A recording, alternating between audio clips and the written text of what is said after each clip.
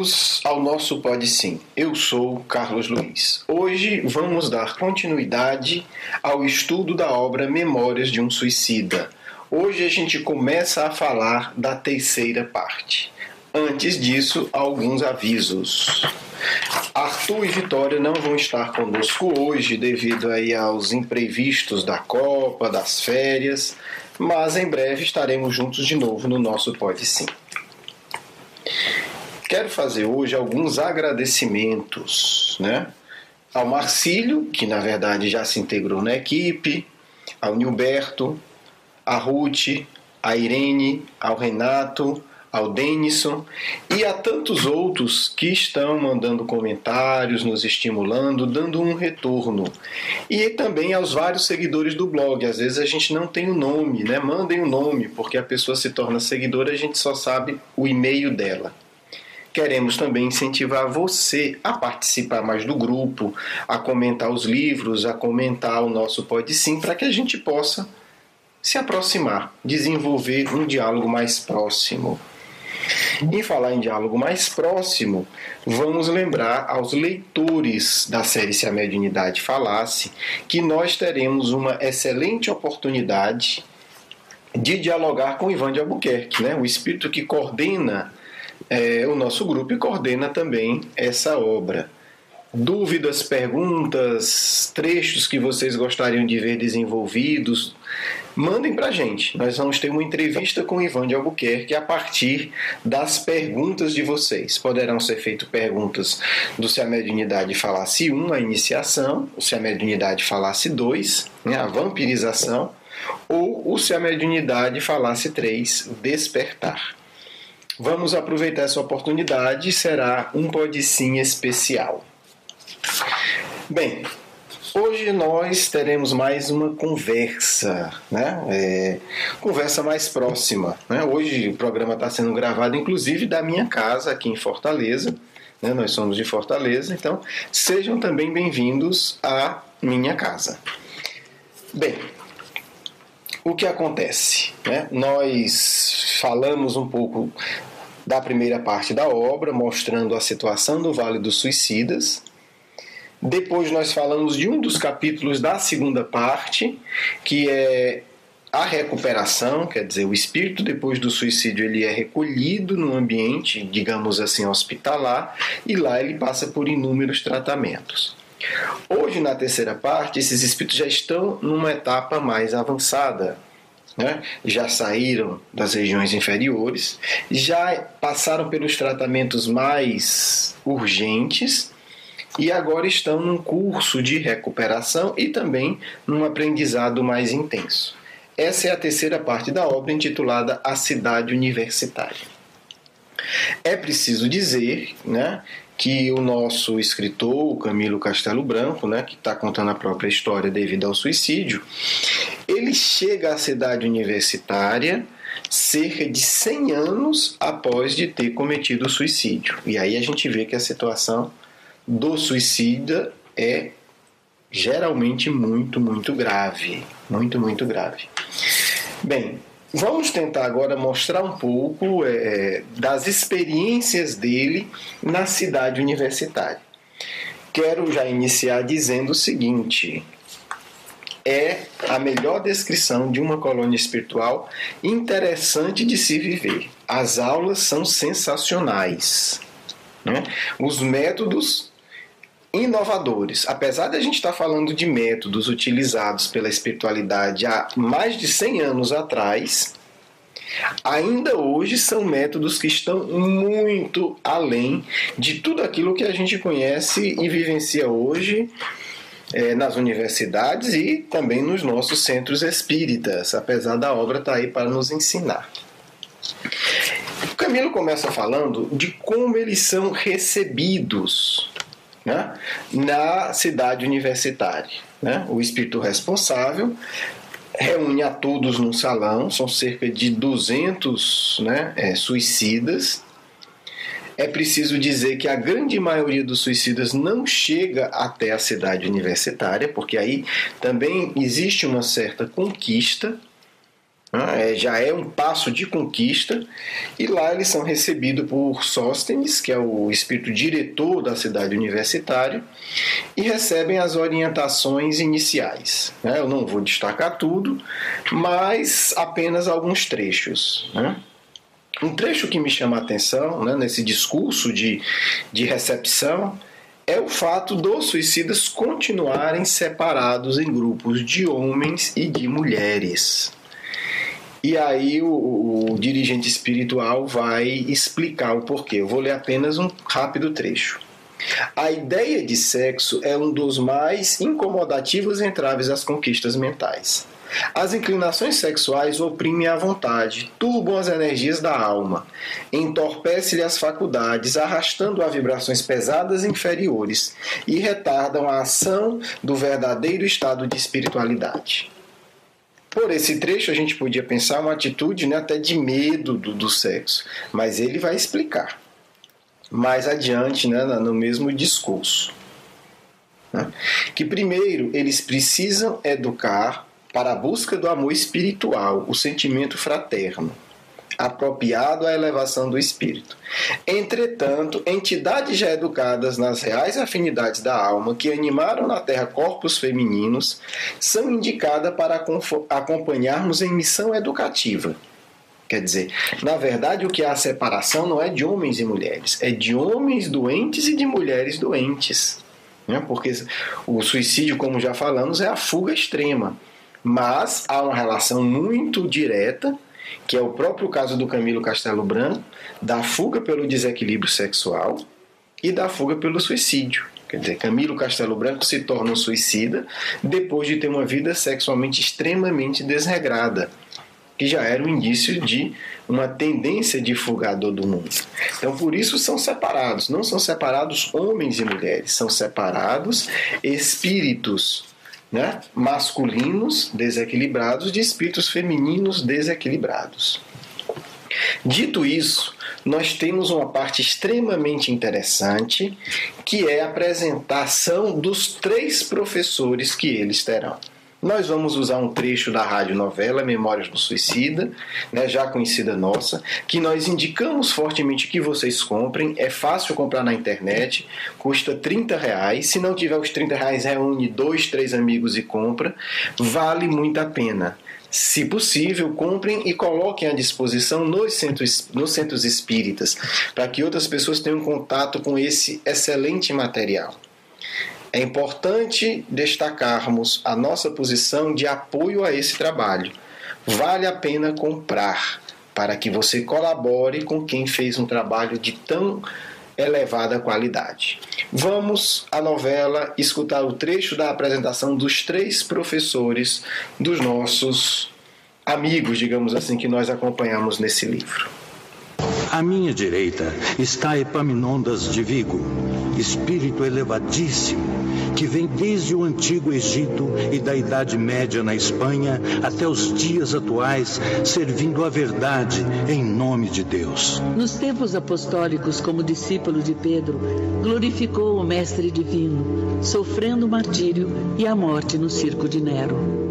Na Espanha, brilhou como estrela salvadora, auxiliando os desgraçados e perseguidos. Mas justamente porque brilhava no meio das trevas, sacrificaram-no outra vez, não mais atirando seu velho corpo carnal às feras famintas, mas queimando-o numa fogueira pública.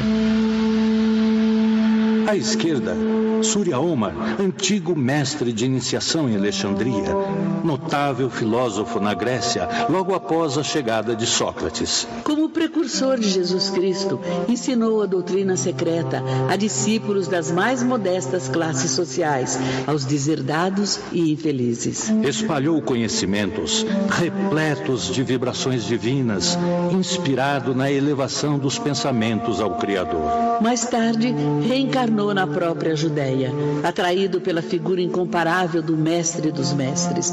Desdobrou-se em atitudes humildes, por seguir as pegadas luminosas do Pastor Celeste. Já em idade avançada, conheceu as duras perseguições de Jerusalém. Fortalecido por uma fé inabalável, sofreu longo martírio no fundo de um calabouço. Foi torturado com a cegueira, martirizado com espancamentos, mutilações dolorosas, até que seu corpo não mais resistiu e ele passou para a grande pátria espiritual. Surya Omar, como Epaminondas, teve a mente voltada desde muitos séculos para as altas expressões da espiritualidade. Hoje, se ambos continuam operando na região de angústias em que nos encontramos, não será porque lhes faltem merecimentos para alçar esferas superiores, mas porque preferem estender atenções e amor aos mais desgraçados. E este é Aníbal, meus caros filhos jovem que conheceu pessoalmente a Jesus de Nazaré durante suas pregações inesquecíveis pela Judéia. Aníbal de Silas, um daqueles meninos presentes no grupo que Jesus abençoou diretamente, dizendo: Deixai vir a minhas criancinhas, porque delas é o reino dos céus. Aníbal, que oferecerá a vocês ensinamentos cristãos exatamente como os ouviu do próprio Mestre. E ele assegura que quando Jesus pregava sua doutrina de amor, quadros explicativos de maravilhosa precisão e encanto surgiam inesperadamente à visão dos ouvintes.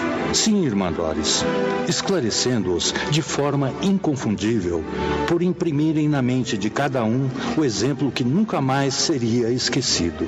Era por isso que, falando, o grande Salvador conseguia conter multidões famintas por longas horas.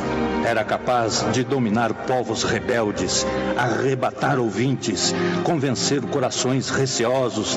Aníbal cresceu e fez-se homem, sentindo-se sempre envolvido pelas radiações do Divino Mestre e que nunca mais se apagaram das suas recordações. Trabalhou pela causa, repetiu o que ouviu do Senhor ou de seus apóstolos, preferindo, porém, instruir crianças e jovens, lembrando-se da bondade com que Jesus se dirigia à infância. Viajou e sofreu perseguições, injúrias, injustiças, até porque era de bom gosto social criticar os adeptos do Messias, ofendê-los, persegui-los, matá-los. Em Roma, Aníbal viu-se glorificado pelo martírio. Teve o corpo incinerado num poço que ornamentava os jardins de Nero aos 37 anos de idade.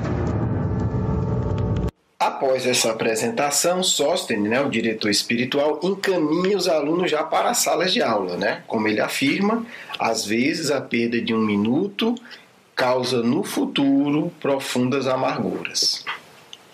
Vamos começar então aí com a aula do Aníbal de Silas, né?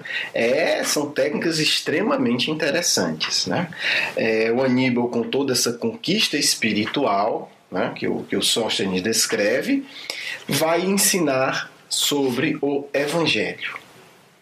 E aí ele começa falando dele, ele vai contar a história dele, não no intuito de exibir-se, como muitas vezes a gente faz aí nas palestras espíritas, porque ele vai mostrar também os erros dele. Normalmente a gente, por vaidade, conta os nossos testemunhos, né? É, a nossa grandeza espiritual. Aníbal não tem essa necessidade. Aníbal vai mostrar a história espiritual dele tal como ela aconteceu e de uma forma muito curiosa. Vejamos como é que o Camilo Castelo Branco descreve isso aqui. Era com assombro que ouvíamos as palavras de Aníbal traduzidas em imagens cenas, a se refletirem, a refletirem na tela miraculosa que ficava junto de nós. Foi assim que, enquanto falava, a realidade de suas experiências terrestres e espirituais se reproduziam ali, com tão verídica nitidez que nos julgaríamos participar das próprias idades ressuscitadas dos repositórios secretos de seus pensamentos. Quer dizer, então, o Aníbal não selecionava a cena em que ele estava né, bom na fita. Ele mostrava em completude a história espiritual dele. Tá aí uma boa ideia se a gente quiser falar da gente, né? É, vamos contar a história toda. Olha que técnica. O espírito fala e ao mesmo tempo projeta né, o seu pensamento numa tela e todos veem de fato. Um, um, um, dado interessante que o Aníbal vai falar né, que foi o próprio processo de educação espiritual dele, tem a ver com uma prece, com uma oração. Aníbal vai valorizar ardentemente a prece. E ele vai dizer o seguinte: somente orando conseguireis forças que vos habilitarão ao heroísmo necessário às lutas das realizações cotidianas. Olha que coisa interessante, quer dizer, heroísmo para as realizações cotidianas. Né? Não é a hora que a gente faz um espetáculo e está todo mundo vendo. Aníbal fala que o crescimento espiritual é conquistado nas realizações cotidianas. E para que a gente tenha força de de fato realizar essas realizações cotidianas, nós devemos orar. E depois continua, ele está diante de um grupo de suicidas. Né? Não importa que a dolorosa lembrança dos delitos cometidos pese em vossas consciências, nem que vocês sintam dificuldades na expansão do pensamento. O que é preciso, o que se torna urgente e inadiável é querer iniciar a tentativa é ousares vigorosamente né, para teres a mais viva coragem convocada das profundezas do vosso ser. Quer dizer, a oração para esse espírito abnegado é fonte de força para a luta cotidiana e fonte de vigorosa coragem. Para quem quiser orar como Aníbal, ore com vigor, com coragem por isso que nos espanta pessoas que pensam que a oração é simplesmente voz doce. Não.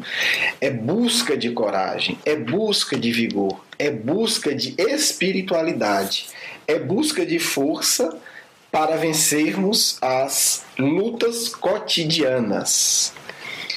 Mas tem mais coisa. Tem algo extraordinário na aula de Aníbal que a primeira vez que eu li me espantou profundamente. Aníbal projeta em sala de aula, com a ajuda do seu poder mental, de alguns auxiliares e de um equipamento para facilitar que os alunos consigam ver, né, digamos assim, para tornar um pouco mais grosseiro a projeção dele, a vida do Cristo. Porque o Aníbal foi uma das crianças que participou de uma cena descrita no Novo Testamento. Né? Porque Jesus, é, Jesus chega numa localidade, as crianças correm para estar perto dele e alguns discípulos, né, desavisados ainda do Evangelho, começam a afastar, porque na época nem mulher nem a criança tinha valor na sociedade. Então os discípulos começam a dizer: sai daqui, menino, sai daqui, menino. E Jesus diz: deixai que venham a mim os pequeninos e não os empeçais. No meio dessa meninada estava Aníbal de Sila. Então ele corre para perto de Jesus e Jesus coloca a mão e faz carinho em sua cabeça. Então, é, Aníbal projeta as cenas do evangelho que ele viveu. E aí nós temos uma verdadeira aula de cristianismo, né? Como diz o espírito, né, o Camilo, ele diz o seguinte: vimos os cenários que serviam à ação magnífica do grande mestre, ao mesmo tempo em que sua figura inconfundível dominava a expressão, exercendo o apostolado sublime. Quer dizer, se assistiu uma aula de cristianismo assistindo ao próprio Cristo ensinando o próprio Cristo pregando. Olha que método sensacional e maravilhoso. E aí não precisa dizer que essas aulas eram diárias e a grandeza de tudo o que deve ter sido aprendido por esses amigos espirituais ao verem Jesus pregar, ao verem Jesus ensinar. Nós não estamos falando de um teatro, estamos falando da projeção de cenas reais por Aníbal de Silas. Porém, há sempre um porém, né? É, para aqueles que pensam que a vida espiritual ou que a espiritualização é açúcar, né? tem uma notícia um pouco desagradável. Para aqueles que querem crescer, será uma notícia excelente. As aulas do Evangelho têm sempre prática. E a prática muitas vezes não é agradável para ainda para aqueles que como nós ainda estamos aprendendo a amar. Né? Então tinham essas aulas diária ou quase que diária, mas o Aníbal, a cada lição aprendida, digamos assim, a cada trecho assistido da vida do Cristo, levava os seus alunos para a parte prática. Como é que era essa parte prática? Vamos deixar o próprio aluno descrever. Servimos nos postos de emergência da colônia a que pertencíamos, como no Hospital Maria de Nazaré e suas filiais. Participamos de caravanas a socorro a infelizes suicidas, perdidos no invisível. Auxiliamos né, a proteção deles em relação aos obsessores. Seguimos os nossos os mestres na caça de chefes temíveis das falanges mistificadoras. Visitamos as reuniões dos discípulos de Allan Kardec, os centros espíritas, né? É, é bom lembrar que o Camilo Castelo Branco nessa época não era espírita, né? Não sei hoje, nessa época ele não era. Acudimos muitos sofredores, né? Espíritas e aos alheios às práticas espíritas. Visitamos prisões, hospitais e hospícios. Fomos em regiões isoladas dos sertões brasileiros e africanos, ajudando a manter o ânimo daquelas almas tão desgraçadas. Muitas vezes visitamos leprosos, amesquinhados pela demência ou assinalados pela mutilação também visitávamos o domicílio dos grandes da terra, onde também existem imensas dores e muitas oportunidades para o pecado do suicídio. Aníbal leva-nos a fim de nos guiar nos ensinamentos do mestre modelar, com os quais aprendíamos a exercer por nossa vez o apostolado da fraternidade. Era agradável? Deixamos o espírito amigo falar aqui. Mais de uma vez, em dóceis aflições nos surpreendiam ao contato das angústias alheias. No entanto, mais de uma vez conseguimos a alegria de levar doces consolações. E isso nos dava paz. Concluindo, ele diz: A cada lição do Evangelho do Senhor, explanada pelo jovem catedrático, a cada exemplo apreciado do Mestre Inesquecível, Seguíamos os nossos testemunhos na prática entre humanos e os desventurados sofredores, quer dizer, encarnado e desencarnado. Além disso, fazíamos análise dos temas e apresentávamos a uma banca examinadora, a qual verificaria o nosso aproveitamento e compreensão da matéria. Bem, tá aí o exemplo do que é uma aula de cristianismo as belas lições de Jesus enfrentada no mundo doloroso da prática, né?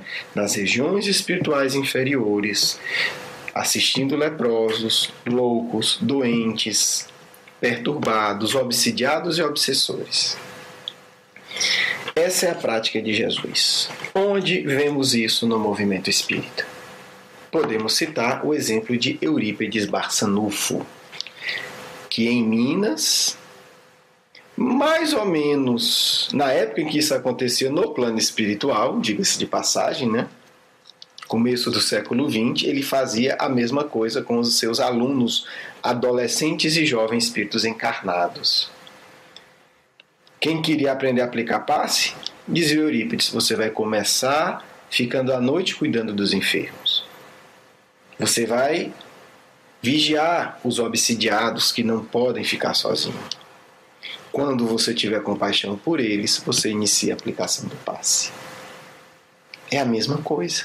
É a prática cristã vivenciada. Estudo do Evangelho não poderá ser jamais, pelos que amam Cristo, mera burocracia, mera discussão teórica. É preciso aplicar né, nas realizações do nosso cotidiano, como fala Aníbal de Silas. Bem, ainda falta muita coisa, né? Ainda temos duas, dois, né? Duas outros professores e aulas, né? O Omar de Suria e o Epaminondas de Vico para falarmos sobre a prática dele. Hoje falamos do Aníbal de Sila. Nos próximos programas falaremos desses outros dois grandes mestres iniciados também que trabalham com espíritos né, suicidas, mas suicidas de boa vontade, né, que em 100 anos já estão em processo de recuperação avançada. Agradecemos a atenção, nos despedimos, né? vamos agora à leitura do nosso Evangelho e deixar o espaço para a mensagem final de nossos amigos espirituais. Quero dizer que foi uma grande alegria compartilhar esse momento com vocês. Nosso Evangelho aberto ao acaso, né, caiu aqui no capítulo 13, que a vossa mão esquerda não saiba o que dá a vossa direita. O item os infortúnios ocultos. Vou ler apenas um trecho, porque eu acho que é bem oportuno é, e sugiro que vocês leiam aí em casa ele todo. Nas grandes calamidades, a caridade se manifesta e vence generosos impulsos para reparar os desastres. Mas, ao lado desses desastres gerais, há milhares de desastres particulares que passam despercebidos de pessoas que jazem sob um catre sem se lamentarem. São a esses infortúnios discretos e ocultos que a verdadeira generosidade sabe ir descobrir, sem esperar que eles venham pedir assistência. Né? Quando a gente fala de suicídio, de pessoas que estão tentando suicídio, estamos falando de infortúnios ocultos, dores que estão dentro da pessoa. Né? E muitas vezes sequer se mostram. Bem, vamos elevar nossos pensamentos, rogar ao Mestre a sua proteção e o amparo dos bons espíritos, deixando espaço nesse instante para a palavra dos amigos da espiritualidade. Meus filhos, sou Patrícia mentora espiritual do médium, espírito que há muitos e muitos séculos o acompanha e que tem a alegria de hoje compartilhar com vocês as reflexões sobre o sublime Evangelho de nosso Senhor Jesus Cristo. Foi graças ao nosso Mestre que as verdades antigas do Egito, da Índia foram liberadas para que todos os habitantes de boa vontade do mundo pudessem conhecer em profundidade as leis de Deus, a reencarnação, a comunicação com os espíritos. Foi a Allan Kardec que coube a sublime missão de estruturá-las para apresentar ao mundo tão confuso e sofrido. Como o próprio codificador registrou em sua obra, essas verdades já eram conhecidas pela antiguidade. Por isso, cunhou o termo Espiritismo Antigo para reconhecer com a honestidade que lhe caracteriza que não há nenhuma novidade nas práticas espíritas. Devemos nós, os espíritas da atualidade, viver esses ensinamentos, aplicar em nós mesmos essas reflexões, tornar a vida íntima as leis espirituais expostas pelo codificador, que na verdade encontram-se todas no Evangelho de Jesus de Nazaré. Pensemos sempre na aplicação do Espiritismo aos nossos corações e assim preservaremos nossos seres das fugas, das drogas, do sexo e do suicídio. E um dia conseguiremos iluminarmos a nós mesmos, guiados pelo doce Mestre da Galileia. A todos vocês que abrem nesse instante os vossos corações ao amor de Deus. Nossas vibrações de muita paz e muita luz. Patrícia.